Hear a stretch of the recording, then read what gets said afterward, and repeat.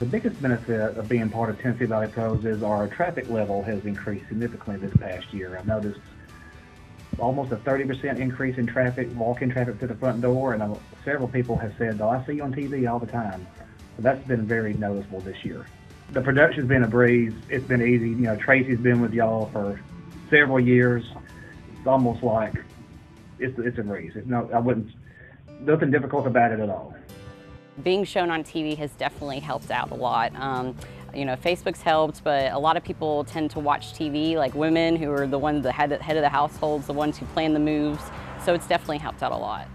I think it's very important to get on TV because it reaches so many different people. It reaches that type of market that you might be trying to hit. So I think it's very important, especially to get on with 31 because they've been such a good partnership and they've been very helpful, you know, been there if we needed them. So I would definitely choose them. It was budget friendly.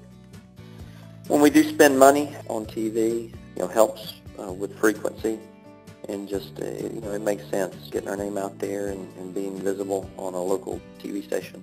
I would definitely recommend it. I think the, the, the promos of being able to, to be associated with, um, you know, the station in that regard is, another uh, plus. It appears that you're more in the community. So I think, yeah, I mean, I would definitely recommend, I think a small business that's looking uh, for TV or looking for a uh, partnership, it gives you the ability to um, try it and see results.